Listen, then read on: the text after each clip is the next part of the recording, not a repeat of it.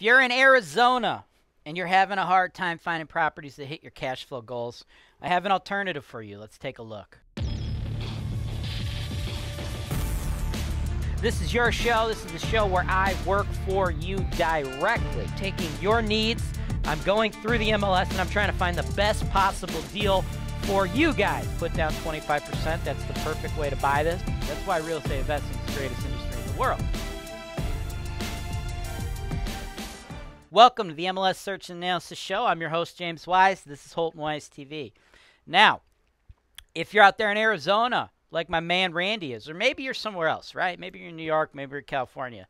The numbers, they're not good for cash flow investors these days. Very hard to get started on a budget, number one. Number two, the cash flow is being squeezed, right? So you go to the cheaper markets, the low cost markets. One of those markets is Cleveland, okay? The Cleveland, Ohio market. Now, that's what I represent. My team, we run the largest scattered site rental portfolio of its kind in the Cleveland market. Have sold over $200 million worth of properties, just like properties that I'm going to show you later today, Randy. Now, what you've been doing thus far, Randy, uh, you've been looking at C and D asset classes, right? Now, those, and I talk about these all over many of the shows on Holton Wise TV, those properties come with a decent amount of risk, right?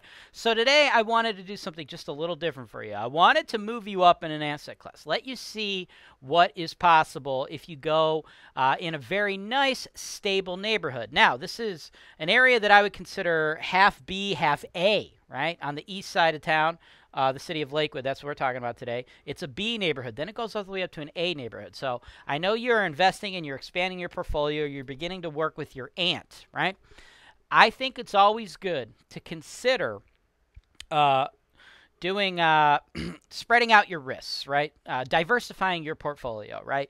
I think if you're going to get a lot of higher risk assets, you should balance those out with some lower risk stuff like what we're looking at today. And I think that's especially important if you're bringing family into the equation, folks. They always say don't mix business and pleasure, right? Because when shit hits the fan, things can get a little rocky. So for you, Randy, bringing in a family member, I think that is just one more reason to proceed with some extra level of caution and take a look at some super low risk stuff like we're going to do right after this. You might be wondering why I'm walking around in a bikini. Because this is America, that's why. Land of the free, home of the brave, the land of opportunity. Like the opportunity to click the link below and connect with motivated sellers nationwide. Welcome back. Let's jump into the numbers on this quad, all right? This is a solid deal, folks. But there's some things that have to happen to get it done, right? To get it to make sense, okay? 1623 Hopkins Avenue, Lakewood, 44107. It's been on the market almost two months now, 47 days. The price, $309,905. Now, let's talk about this. Quads, number one.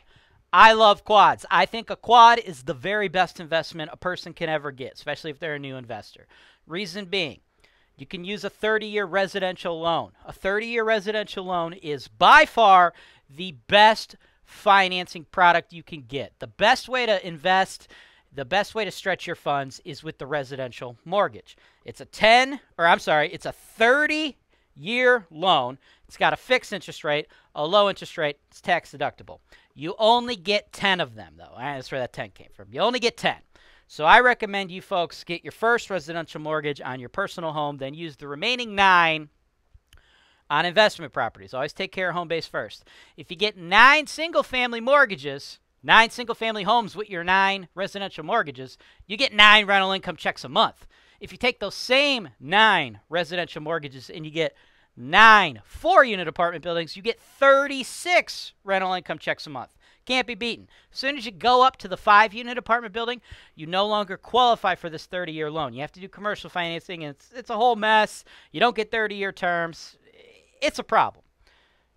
Four units, the best. As far as neighborhoods go, this is Lakewood, Ohio.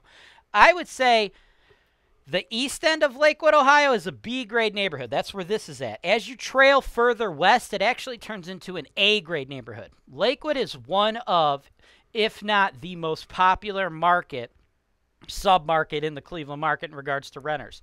You do not have like long-term vacancy in Lakewood, dude. You put your property on the market, you got a line of people trying to apply for it within days, within hours. Incredibly high demand space. There's a lot of nightlife, it's very trendy. People love Lakewood, okay? So this is a B grade property. Lakewood itself is half B, half A, right? So I love all that. Properties fly within minutes of being listed. They go boom, boom, boom, multiple offers, which leads me to the next point I want to make. Very important point. This has been on the market for 47 days. If quads are awesome and Lakewood is awesome and properties fly, why has this been on the market for so long? Because that price is stupid. 309,905. That price don't make no sense. It's a great property. It's a very nice property. But it ate $300,000 nice, right? Okay, as we cruise through the photos, got two units here that have been rehabbed, looking good, right? Everything's looking nice on this. This one is one of the dated units, but we have some nice upgraded units, right? Everything is looking fly here, okay? So the property itself is awesome, but it's not $309,000 awesome, okay? What we need to do is position ourselves with a low ball offer on this one. $250,000 is what I think this property is really worth. $250,000. The current rent roll 2598 very close to market rent 2598 that's a schedule of 31176 as far as uh, what comes in for uh, of that 31,176, we have to add in our fixed and variable expense estimates, right? So 31,176 is scheduled to come in.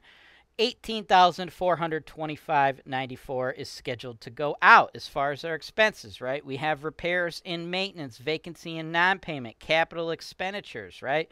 We have our taxes, okay? Insurance, water, sewer, lawn care, right? What you see there, right? The 1558 for each of those top 3 lines, that's not money you're actually spending. That is money that uh, is coming back to you now while we're fully occupied and there's no major issues. But what you have to understand is there's going to be issues down the road, right? You're going to eventually replace furnaces. Furnaces last 30 years that cost 3 grand. Hot water tanks cost a thousand. You got to replace those every 15 years. Roofs, it's like an eight thousand dollar roof. You got to replace that every 30 years, right? So you're saving that money for that. When tenants do move out, you got to upgrade the units, right? So that's going to be several thousand dollars. You don't do that until they move out, but you know eventually they're going to move out, right? Even though Lakewood's in high demand, people don't live in your houses forever, guys. This is multifamily investing, right? This is rental properties. If they wanted to live there for a very long time, they'd probably buy a house. But even if people buy a house, folks, you got to understand, they sell their homes on average every seven years. So turnovers are part of the game. So we account for all that, right? So your clear NOI should be twelve thousand seven hundred fifty. At a price point of two hundred fifty k, you put down sixty two and a half. Bank kicks in one eighty seven on that beautiful thirty year mortgage. That would be approximately a five and a five point two percent cash on cash return. Right now, for those of you investing in Cleveland, looking for the ultra sexy numbers, you ain't gonna get them in a neighborhood this nice, right? If you want to get higher paper cash on cash returns, we got to go to a higher level of risk, right? We got to hit C grade neighborhoods. As far as the price point that I think this property is worth and what the seller is trying to get, $309,905. I think the seller's a little crazy on that, right? Uh, my team actually sold this property to uh, this particular seller several years ago, right? And we did some management for him. Uh, not 100% sure if we're still managing it. I don't recall. I don't typically touch base on a day-to-day basis, basis with my management team, but given that uh, we are not the sales team on this one, I would assume that management agreement ended at some point. What I can tell you, though, is from what I know, this investor, when we sold it to them, he paid much less than what the property is currently worth. Okay, we've seen a lot of uh, prices going up, right? We've seen a lot of appreciation in the Cleveland market over the last few years. You're seeing that all over the country, right? So it might seem totally crazy to get him to take an offer that's $60,000 less than his list price, but I know for a fact that that will still net him a very large profit. So he might be uh, enticed to do that. And if he doesn't, that's okay. That's the highest offer I think makes sense, and we move on to other properties, folks. That's what the name of the game is, right? It's doing due diligence on properties, putting out our best offer, and if sellers take it, great. If they don't, we don't want to overpay. We simply move on to the next property. Thanks for watching. Subscribe to Holton Wise TV for more financial information, education, and entertainment.